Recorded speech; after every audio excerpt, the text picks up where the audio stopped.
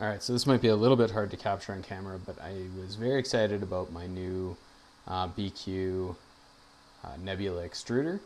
Um, but unfortunately, I think I got the uh, built on Friday edition uh, before a long weekend. Um, so inside, there's a filament sensor behind this piece here, and when I was first setting it up, nothing worked. And when I opened it up, I found that the plunger that sets the filament sensor was just, it had fallen out. So I was like, oh, great, I can fix that. Put the plunger in, double check the orientation, um, which isn't well documented. But it was reasonably obvious. One, one part is rounded, one part is flat. Uh, so I got it back in there. And so here's why I was I was having issues with my uh, with this switch. I was like, oh, I might have a wiring issue, whatever. Um, but right now you can see the sensor is not tripped. Uh, I'm currently actually running the Orbiter uh, config, uh, the Orbiter Smart config. So if I screw down this screw, tighten up this screw that holds the stepper motor in place and the whole main body together, and try not to knock it off of here. So that one is tight and this one is loose. So as soon as I tighten that screw, so I'll loosen it a bit,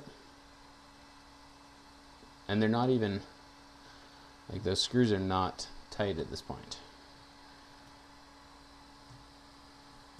Like they're not wiggling but they're sorry a second hand there.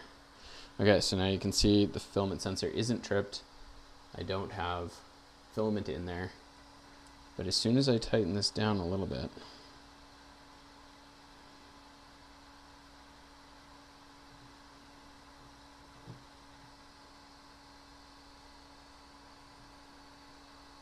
There.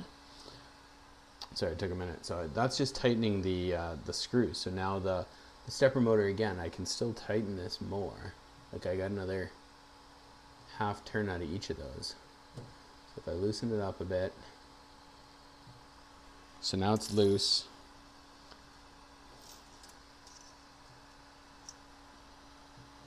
Piece of filament in, out, in, out.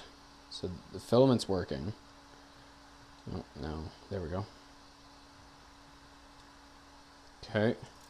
But again, that motor is loose now, which isn't good. So I tighten it just a little bit more. There's just the two screws that hold everything together.